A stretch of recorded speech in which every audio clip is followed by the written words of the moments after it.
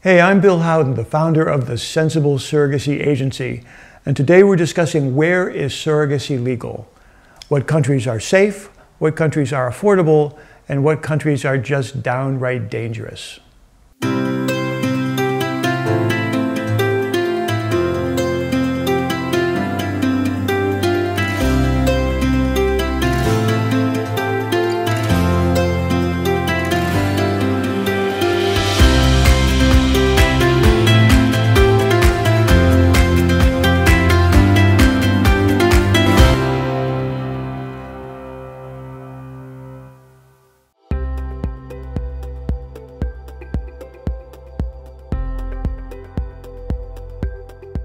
So if you've been following along the video series, then you've heard me talk a lot about different countries with different legal frameworks and different costs.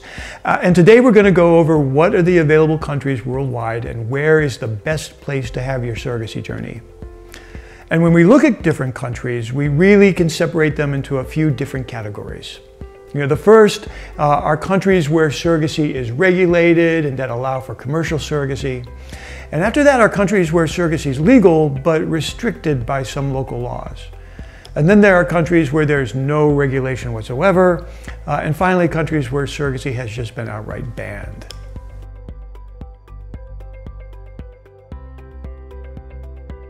The first group of countries are those where surrogacy is supported at a high level and where commercial surrogacy is allowed uh, and where there is a legal pathway to ensure that the intended parents have sole parental rights. You know, what we're looking for is, uh, is a legal process so that the intended parents can be named as the legal parents on the baby's birth certificate and the surrogate's name would be removed, right? And this really includes just a handful of countries worldwide. So the first country we're looking at is the United States. Uh, and the US is considered to be the gold standard for gestational surrogacy worldwide. You know, and in part that's because of the media hype that's gone around surrogacy in the US, you know, especially in Southern California. And maybe you've seen or read about various celebrities having their children born in LA, which has driven popularity of surrogacy there. You know, but the US is actually a pretty good spot to have surrogacy all across the country. Nearly every US state has a favorable framework towards surrogacy. You know, there's only a handful of states that we would call unfriendly and that wouldn't recognize your surrogacy arrangement. You know, the most legally friendly states in the US would be California, Nevada, Washington State, Maine, New Hampshire, uh, and some others oh, on either coast. You know, these are states that would support what's called a pre-birth order. Now, a pre-birth order uh, is an important part of your surrogacy journey and U.S. law. It's when the baby uh, and the pregnancy reaches the third trimester. You know, there's a court process that declares that the intended parents should be named on the birth certificate and that they are, in fact, the legal parents from the moment of delivery. Now, you compare that to what we would call somewhat friendly states, uh, you know, which would be states like Ohio or Pennsylvania or Arkansas. And these states have post-birth orders or a post-birth legal process that would amend the birth certificate with the names uh, of the intended parents. You know, in these somewhat friendly states, the birth certificate is generally issued with the name of the surrogate but then a quick legal process, you know, that takes two or three weeks will remove her name and replace it with the names of the intended parents. You know, both, both the pre-birth and post-birth orders are really common and very standard legal processes. So you don't have to worry about being named as the legal parents in the US. The legal framework in nearly every state is very explicit and supportive. You know, but of course, every destination has its drawbacks as well as well as its benefits. Uh, and the obvious drawback in the US is you know, that it's expensive. Right now, a typical program in the US is going to start, well, on the low end of about $140,000 and go up to $160,000, $170,000 or more, you know, and that is obviously a huge investment. And for a lot of intended parents, it makes the US just not very viable. What I'd like to say is if you're considering surrogacy and you have to struggle to afford a program in the US, then chances are you can't really afford a program in the US. Because one of the problems with the US is not just that it's expensive, but the costs are generally difficult to predict. You know, the American medical system and, is, and the privatized health insurance system are quite complicated, uh, and costs are going to vary from state to state and month to month.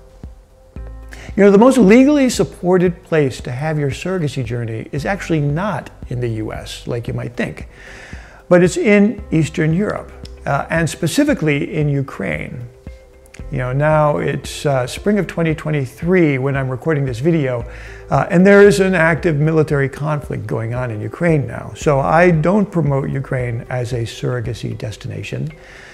But before the war, and God willing, once peace is restored in the region, you know, Ukraine was unique in its support for surrogacy. Of all the countries around the world, Ukraine had explicit surrogacy laws that support commercial surrogacy. And unlike the US, the surrogate never appears on the birth certificate, uh, and the baby is the legal child of the intended parents from the moment of conception. You know, there's no court process required. You know, you remember that in California, we need to have a pre-birth order sometime in the middle of the pregnancy. But that's not the case in Ukraine. In Ukraine, if you have a properly executed surrogacy contract, you know, and you meet the country's other bureaucratic requirements, then the baby is considered the legal child of the intended parents. And that makes Ukraine very unique worldwide. Ukraine is also quite affordable. Uh, programs there are going to start around $50,000, $55,000, which is about a third of what the US costs. And there are also unique programs uh, in Ukraine that are quite affordable, including you know, guarantee programs or other special packages and special concierge services. The downside of Ukraine is that there are bureaucratic restrictions. You know, Ukraine and other countries in the region restrict surrogacy only to heterosexual married couples and couples who have a medical need for surrogacy. So to start a program in Ukraine, you need to provide a copy of your marriage certificate. You need to provide a letter from your doctor or medical records that show that you're unable to carry the pregnancy yourself uh, and that you have a letter from the doctor that recommends surrogacy. Now, a new addition to the list of surrogacy-friendly destinations would be Mexico. Now, I've spent years telling clients to stay away from unregulated destinations like Mexico, but, but that changed dramatically in late 2021 when the Mexican Supreme Court ruled that surrogacy is a protected medical procedure. And you can read all about the new legal framework in Mexico uh, in the Surrogacy Guide, uh, or we'll have a recent video on Mexico. But essentially, the court ruled that everyone should have equal access to the medical technology to form a family. Uh, and so surrogacy in Mexico was legalized for all individuals, you know, gay, straight, married, single, foreign, domestic. Uh, and the Supreme Court went even further, uh, and they ruled that the questions of the baby's parentage is not actually determined by biology or genetics, but by what they called procreational will essentially granting the intended parents the status of legal parents if they have a properly executed surrogacy contract that shows they had the initial desire to form the family uh, and that the surrogate was just providing the incubator, so to speak. So in short, Mexico's new legal framework is a lot like California. With a surrogacy contract, you can get a pre-birth order during the pregnancy, and the birth certificate is then issued with the names of the intended parents and the surrogate is never shown at all. So in short, Mexico's new legal framework is a lot like California. You know, with a surrogacy contract, you can get a pre-birth order during the pregnancy, uh, and the birth certificate would then be issued with the names of the intended parents, and the surrogate is never shown at all. Now, of course, every surrogacy destination has its drawbacks, and like the US, Surrogacy in Mexico is regulated state by state, so not all programs across the country have the same supportive legal framework. So check with a local lawyer about getting that pre-birth order in Mexico. It may not be possible everywhere in the country. Now, surrogacy in Mexico is also relatively affordable. You know, a standard program will run about $60,000, uh, and a guarantee program you know, with unlimited IVF cycles and embryo transfers will be around $70,000. And the costs are even lower if you bring your own embryos. but beware of the exasperatingly slow application process to import embryos into Mexico. Uh, it could easily take six, nine, 12 months or more to receive a permit to bring embryos or oocytes or gametes into the country. And the process is opaque and it seems like it takes forever. You know, like the US, Mexico also has no national health service, so make sure you get private medical insurance for both the surrogate and the baby.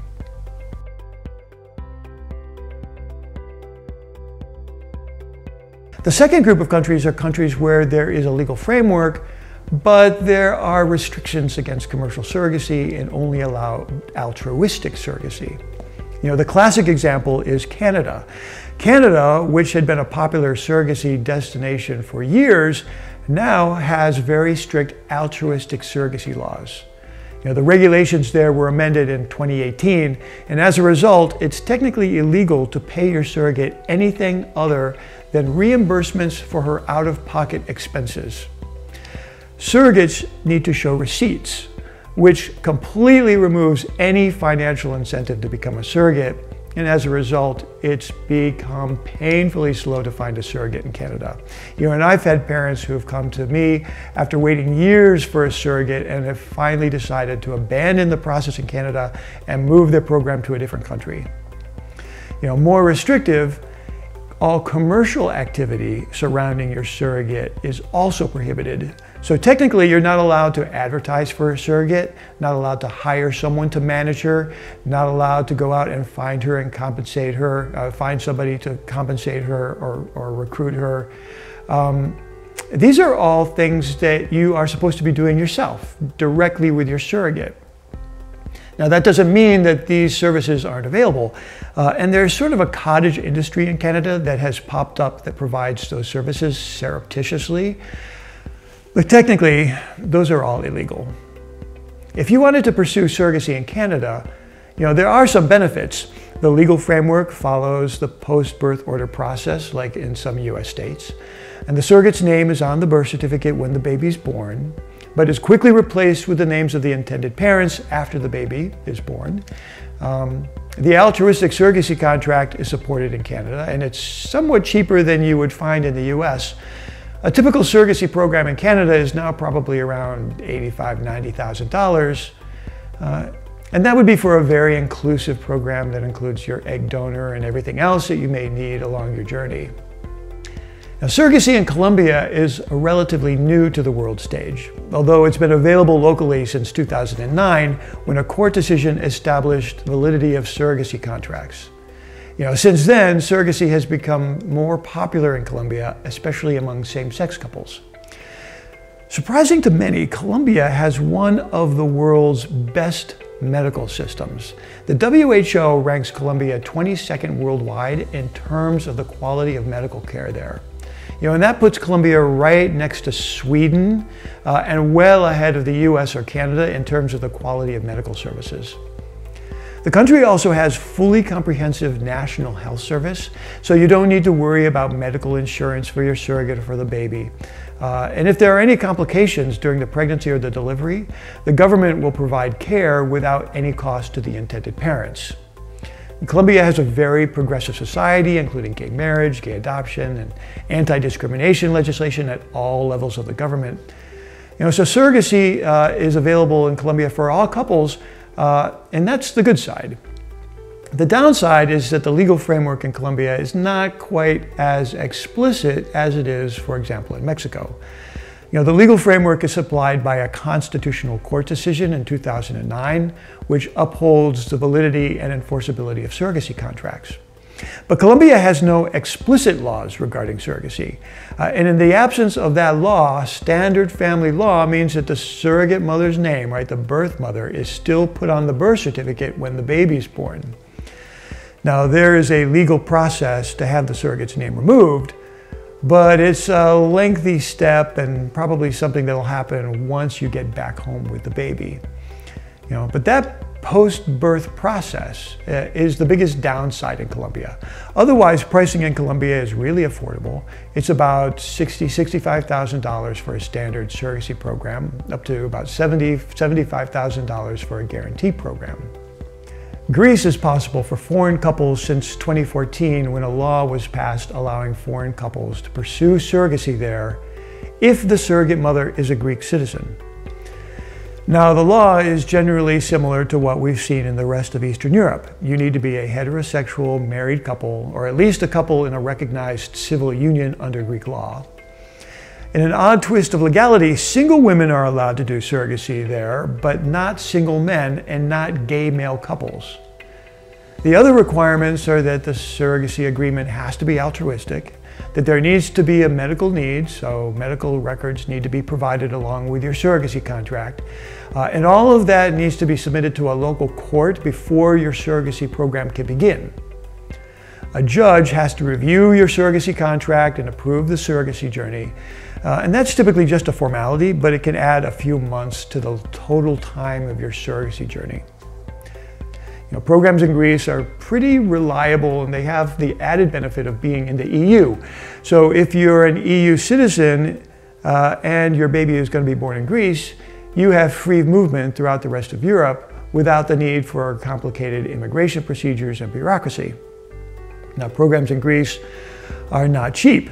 Uh, they are, they're more expensive than what you would find in the rest of Eastern Europe. Right now, a typical program in Greece is going for about 90, 95,000 US dollars.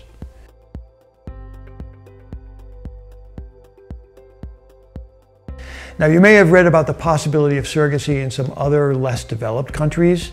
You know, and if you search on Google, you'll find several unregulated destinations um, unregulated means that there's no legal framework in that country and that your surrogacy contract is really just going to be treated nothing more than like a handshake between you and your surrogate. And that means that she can basically change the terms of the surrogacy agreement at her whim. You know, she can apply for custody rights, she can apply for parental rights or parental support, uh, and there's really not a lot that you can do about it other than to sue her in civil court or in family court where you really don't have a lot of benefits. You know, but that possibility is actually not the real issue with unregulated surrogacy. The real problem uh, is that in the lack of any legal framework, in the absence of any explicit law, the government's attitude towards surrogacy and their treatment of surrogacy is really just a political issue. You know, this is what we've seen in countries like Cambodia and Thailand, where one day surrogacy was a legal, viable fertility treatment, uh, and then following a sudden media scandal, the government changed its treatment uh, and made surrogacy, changed it from a medical practice to human trafficking. And what we saw in those countries was in a matter of days, uh, surrogates became afraid that they were going to be arrested. Uh, parents were, going, were being fined. Surrogacy agents were being put into prison. And all of that happened without any due process or any legislative ruling. Uh, simply because there is no law, the government can change how it treats surrogacy on a whim.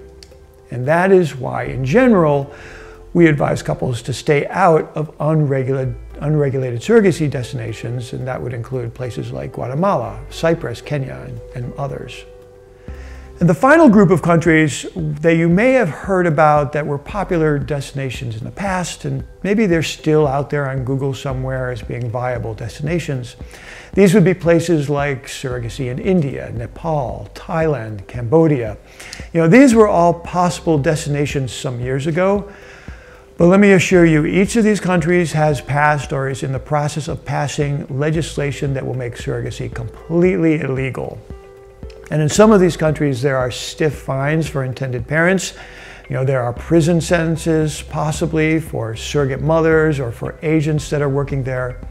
So in general, if you're thinking about surrogacy or you've read about surrogacy in one or more of these destinations, you should look elsewhere. Now, if you have any questions about any of the destinations that I've talked about, you can get more detail in the surrogacy guide on our website at sensiblesurrogacy.com.